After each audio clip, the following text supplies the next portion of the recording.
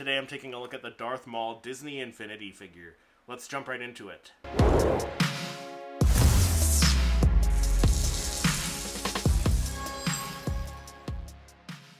Hey everyone, welcome back to the channel. My name is Christopher and today I'm taking a look at the Darth Maul Disney Infinity figure. So I started collecting these figures, these Disney Infinity figures, uh, about a month ago, maybe a couple months ago now. Um, I picked up this one. I, or, I got this one at an auction here in Edmonton, a local auction here.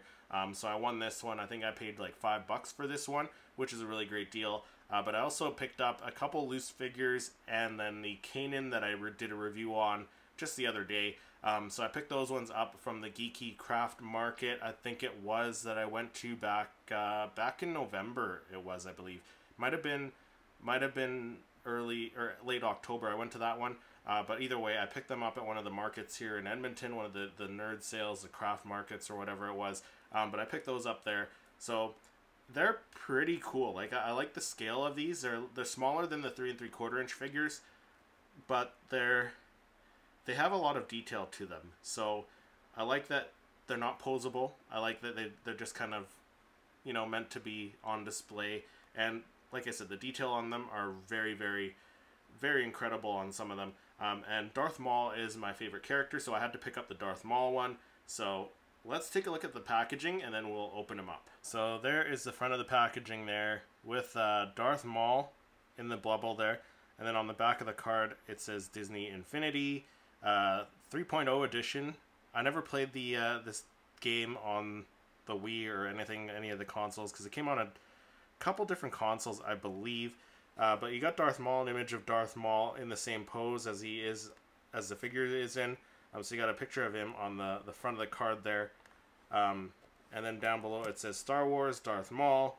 This one, the packaging is in a little bit of uh, rough shape with the some residue left from where they had the price at one point.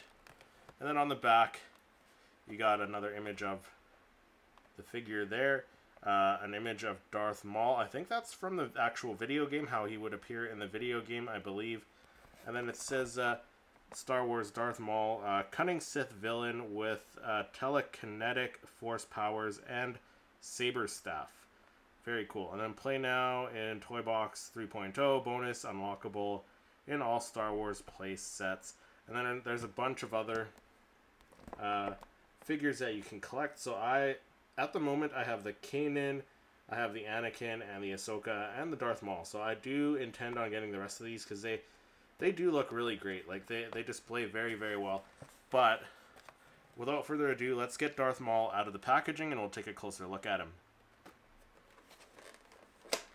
Oh, well, that came off a little bit too easy, almost like maybe the glue stopped holding after a little while.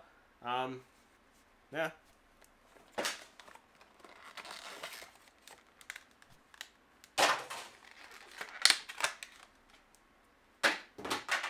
Alright, so there we have the Darth Maul Disney Infinity figure. I think he looks pretty awesome. Like I said, a lot of a lot of nice little details in these little figures here. Some nice little cartoony looking details on his outfit.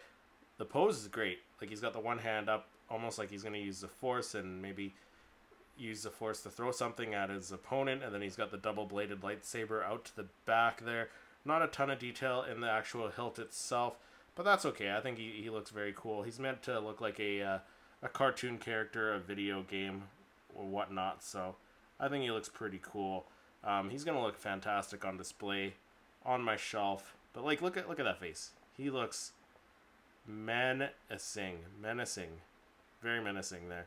Um, love this guy. Great addition to my collection and another Darth Maul. Like, so I can't really complain about that. But he looks very, very cool. I'm definitely going to be picking up some more of these figures in the future.